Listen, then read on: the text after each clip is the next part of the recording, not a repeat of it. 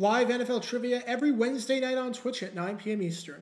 Come show off your football knowledge for a chance to win cash prizes. Check the link in the description to find out more. And now, on with our feature presentation. I want to play this clip for you from the end of the game that we're going to talk about today. Take a listen to the crowd and listen to the crowd noise.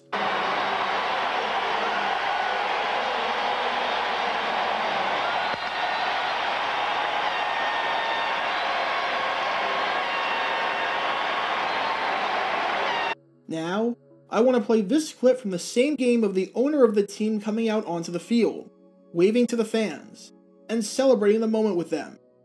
It's a powerful visual, and you can see how happy he is, and how he's got his hands up in the air, celebrating what just happened on the field. When you hear a crowd noise like that after a game coming from the home set of fans, and when you see the owners celebrating like that, what did you expect just happened on the field? Especially when it came to the playoffs. If you knew nothing about the situation, what would you say happened during this game? You'd probably say that the home team won, and probably won badly in an absolute rout, considering the fact that the owner was celebrating minutes before the game was actually over, and considering you can see some empty seats of fans who probably tried to beat the traffic with the game out of reach. And 99.9% of the time, that's an incredibly reasonable assumption and position to take. They're celebrating and going crazy, so understandably, they're probably happy.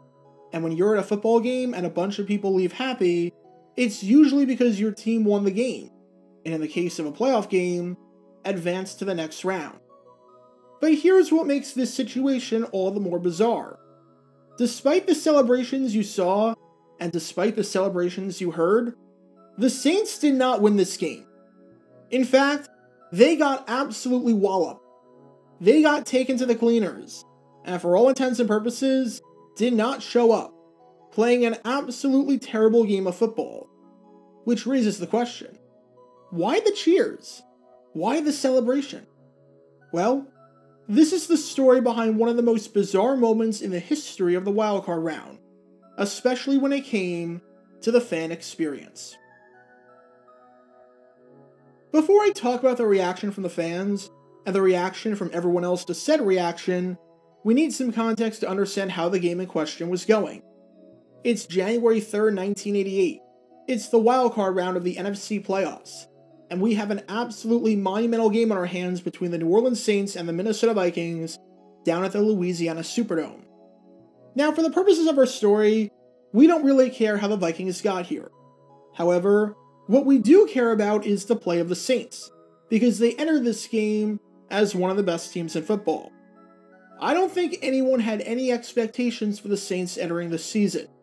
They entered the year with the fifth highest odds to win the Super Bowl, tied with the Buffalo Bills, who had won eight games in the last three seasons combined.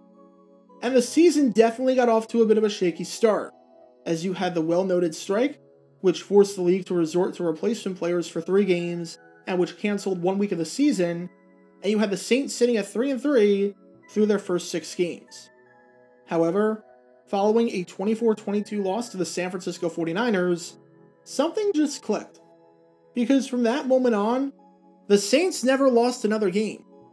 They won nine straight games, scoring at least 20 points in every single game during that stretch, and scoring over 30 points in more than half of those games, which was not an easy feat to do back then and they wound up finishing the season with an incredible record of 12 and 3, which was the second best record in the NFL.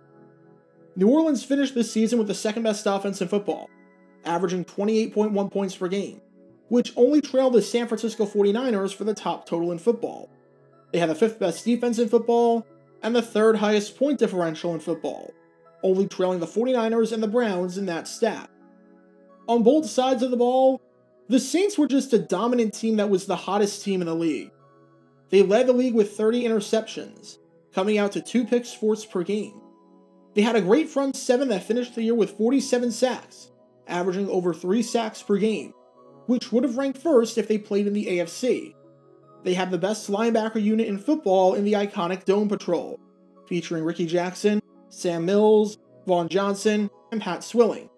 And they were really strong offensively, thanks in part to the play of running back Rueben Mayes, the reigning Offensive Rookie of the Year, who finished the season with the fifth most rushing yards in football and the second most rushing yards in the NFC, only behind Charles White of the Los Angeles Rams. The bad news was that despite having the second best record in football, they couldn't win the division, as the NFC West went to the San Francisco 49ers, who finished at 13 and 2. However, the good news was that not only were they in the playoffs, but they were hosting a playoff game and got the opportunity to play the Minnesota Vikings in the wild card round. The city had seen a ton of playoff games before, but that was because they hosted the Super Bowl. This was the first time that their Saints were the reason that January football was being played in the city. This was their moment. This was the biggest game in franchise history, as not only was this their first home playoff game ever, but this was their first playoff game ever, period. If you win this game and advance to the next round to take on the Chicago Bears to keep this incredible season of yours alive, oh man, New Orleans is going to be partying like it's Mardi Gras. It's going to be like Mars because they will pump up the volume. And it's going to be kicking off the 1988 season in style. You win this game, and heaven will truly be a place on earth, with that place being New Orleans. As for how the game turned out, oh man, oh man, it was bad.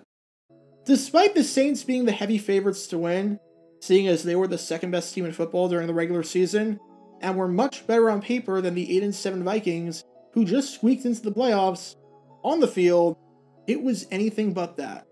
Because this game was ugly with a capital U. Because after the Saints scored six plays into the game on a 10 yard touchdown pass from Bobby Hebert to Eric Martin, to say that they got nothing going the rest of the way would be an understatement. When all was said and done, the Vikings won 44 10 in a game that felt like one of the most lopsided playoff games ever played. At the time, with the exception of the 1940 NFL Championship, where Chicago went on the road and famously defeated Washington by a final score of 73 to nothing, this was tied for the biggest loss in playoff history at the time by a home team in the history of the wildcard round. This was the biggest blowout ever at the time, although it's not as bad as the first round of the 1982 Super Bowl tournament between the Dallas Cowboys and the Tampa Bay Buccaneers, if we want to count that, which the Cowboys won 38 0. Whether you want to count that game or not as a wildcard game, you get the point. Everything about this game was absolutely terrible. And whereas the AFC wildcard game between the Houston Oilers and the Seattle Seahawks was a thrilling, albeit highly controversial overtime affair, which you can learn more about by clicking the card in the upper right corner, this NFC wildcard game was anything but that. Here are some stats just to show how much of a blowout this was, and this time, the stats absolutely do it justice. The Vikings had more than triple the first downs that the Saints did, with the Vikings winning that battle 28 to 9. The Saints turned the ball over 6 times, with both quarterbacks in the game throwing two interceptions. Bobby Hebert, who was a pretty solid quarterback throughout 1987, went 9 for 19, completing just 47% of his passes for 84 yards, 2 interceptions, and a passer rating of 37.9, which is worse than if he did nothing but spike the ball into the ground on every single play. When Dave Wilson took over under center after Hebert got injured, he was even worse, going 2 for 12, completing just 16% of his passes for 20 yards, no touchdowns, two interceptions, and a passer rating of 0.0, which is literally the lowest possible passer rating you can have. It does not get any worse than that.